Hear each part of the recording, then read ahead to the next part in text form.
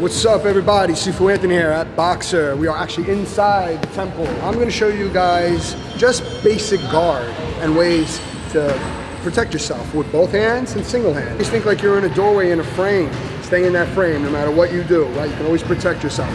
Say I got one arm. He fires the jab, I'm still down. See my chin is still down, fires the cross.